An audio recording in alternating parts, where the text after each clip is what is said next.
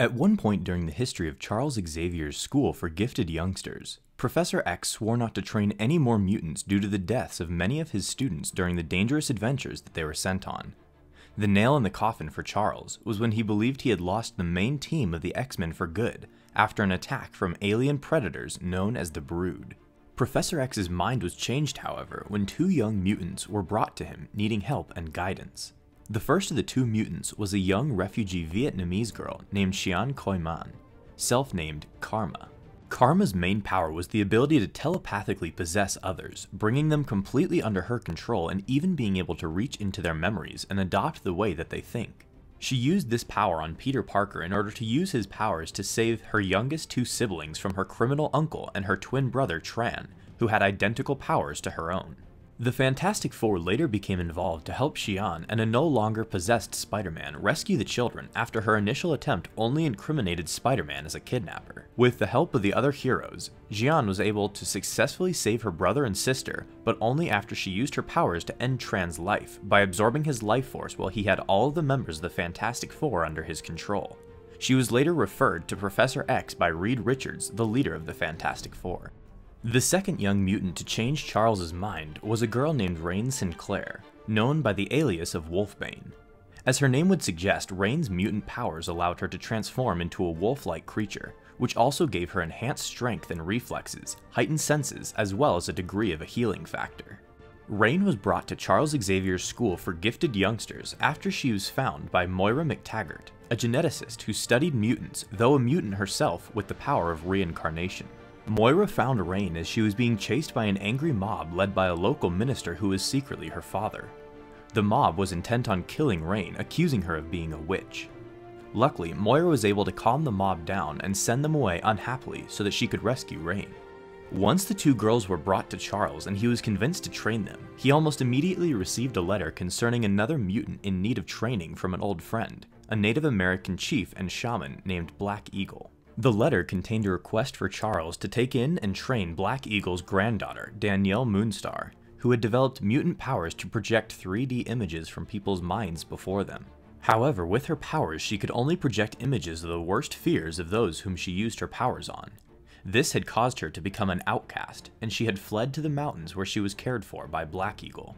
Danielle had been told earlier by Black Eagle that she needed to be trained by Professor X, which angered her as she believed that Charles was her enemy because he was a white man.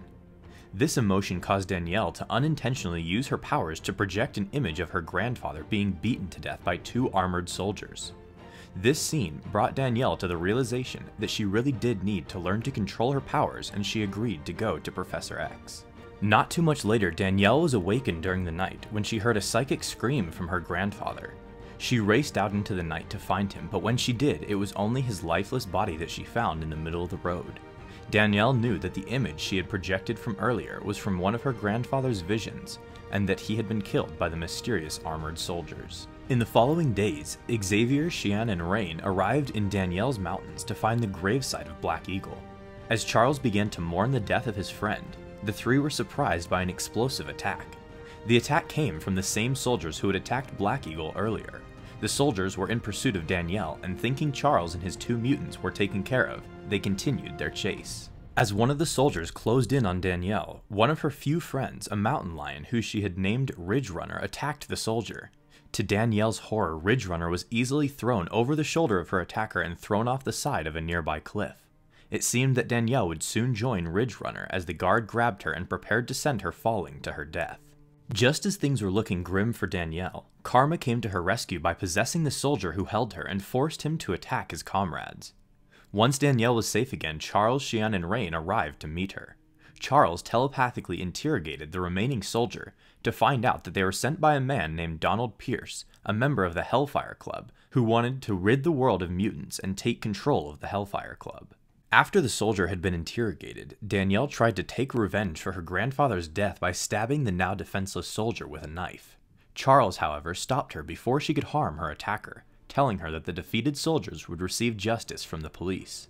Reluctantly, Danielle backed down, declaring that for now she would join Charles so that she could get revenge on Pierce. When Professor X interrogated the soldier, he also learned of two other planned attacks on young mutants by Donald Pierce. The attacks were to take place in Brazil and Kentucky. so Professor X, Karma, Wolfsbane, Dr. MacTaggert, and now Danielle, who would adopt the name Mirage, split up and headed out to stop the attacks. In Rio de Janeiro, Brazil, Dr. MacTaggert, Danielle, and Xian were startled in their hotel room when police barged in accusing them of the attempted kidnapping of Roberto da Costa, a young man who had recently frightened fans of a soccer game he was playing in when he transformed into something like a completely black shadow of himself and hurled another player across the field with sudden superhuman strength. This young man was also the young mutant that the three had come to rescue in Brazil in the first place. The police placed the three mutants under arrest. However, as they were being led out of the hotel, Xian used her powers to possess one of the two officers and force him to punch the other.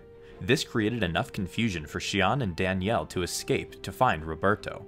Moira stayed back with the officers to try to convince them that they had the wrong people. Later that night, using a mutant detecting device, the two girls located Roberto at his home. As they got close, however, Roberto came outside and began to run away.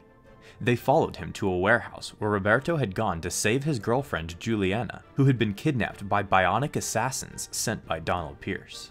Roberto attempted to use his super strength powers to fight off the assassins, but his strength subsided quickly and his upper hand in the fight went along with it. Luckily, that's when Danielle and Xian arrived, mentally and physically attacking Pierce's assassins.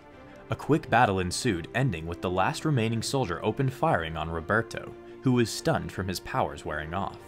Realizing that Roberto would not have enough time to react, Juliana jumped in front of him, pushing him to the side and taking his bullet for him, which killed her instantly. Distraught by the sacrifice and loss of Juliana, Roberto, soon to be known as Sunspot, joined forces with the other young mutants in order to make Donald Pierce pay for what he had done. Meanwhile, in Kentucky, Professor X and Rahne Sinclair were driving down a quiet forest road when their car was suddenly hit by a young man flying at them from the side at missile-like speed. The boy would turn out to be none other than Samuel Guthrie, the mutant who Charles and Rahne had come to Kentucky to meet and help. Sam had been hired by Donald Pierce after his mutant powers revealed themselves during a cave-in at a coal mine where Sam had just begun working. Sam's mutant abilities allowed him to release energy from his body that allowed him to rocket through the air. While he did so, he was able to create a protective field around him that absorbed incoming kinetic energy, causing him to be nearly indestructible when this field was active. During the cave-in, Sam attempted to save another worker despite the fact that doing so would most likely bring an end to his own life. It was then that instinctively Sam's powers kicked in, protecting himself and the other worker with his protective shield while launching them both through the roof of the cave above them and into the safety of the forest above. Now working for Pierce and given the name Cannonball, Sam had been sent to capture Professor X, so after his initial assault on the vehicle, he moved to pull Charles from the wreckage. Rahne, who was thrown from the car during the impact, watched in wolf form as Charles was taken into a helicopter by Cannonball and two bionic soldiers. As the helicopter disappeared into the night, Rahne was able to follow Charles's scent in her wolf form to a nearby compound. Once inside, Rahne made her way to the roof and was able to find a window where she could see Professor X. He was being held by Donald Pierce, who had attached a machine to the professor that prevented him from using his psychic powers. As Rahne was watching the helpless professor and trying to come up with a plan, she was suddenly attacked by Cannonball. Their fight was short-lived, however, as Sam was suddenly surrounded by images of a massive cave-in, images created by Danielle's powers who had just arrived. Terrified by the supposed cave-in around him, Cannonball reacted by blasting himself out of the cave, though in reality he sent himself through the wall and roof of a nearby building. This attracted the attention of Pierce's army of bionic soldiers. Rahne and Danielle, who were also joined by Xian and Roberto, fought off the soldiers, eventually scattering them when Xian got a hold of one of their machine guns and opened fired. The young mutants continued fighting their way into the chamber with Xavier and Pierce. When they arrived, they each began taking their turns at attacking the man who had hurt them so much. Rahne attacked first, but as she tried to bite into Pierce's arm, rather than blood and flesh, she was surprised to be biting into metal and wires. Donald retaliated with a quick kick to Rahne's ribs, breaking them and potentially puncturing one of her lungs. Donald Pierce then revealed that just like his soldiers, he too was a bionic super soldier. In another attempt at him, Danielle tried to fry his mind by pulling out the deepest and most horrifying fears from Pierce's mind. She was also stunned to find that Donald's mind had protections built into it to keep out psychic attacks.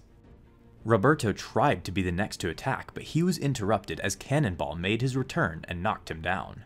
This left only Xian to fight from the now weakened force of mutants. Unfortunately for Xian, as Danielle had already learned, Donald's mind was protected from her psychic attacks, and she was quickly downed by an electric blast from Donald's bionic arm. With the team of young mutants in shambles, Donald ordered Cannonball to kill them. Sam, who had only taken Pierce's employment offer to pay for his recently widowed mother and younger siblings, and not realizing what he had signed up for, refused Donald's order. Furious, Donald declared that Cannonball would now share the fate of the other mutants that lay beaten in the room. He drew his gun, but was suddenly stopped by an unseen force when he went to pull the trigger. It was Professor X. During the confusion of the battle, severely injured Rahne had found the release switch for the device on Charles. His immense psychic power cut right through the shields on Donald's mind, and the two became locked in a silent mental battle for control of Donald's mind. Charles came out victorious against Pierce, leaving him completely defenseless and defeated. Pierce was then turned over to another woman who was imprisoned along with Xavier named Tessa, a member of the Hellfire Club who promised to take care of Pierce for his attempts to take control of the club.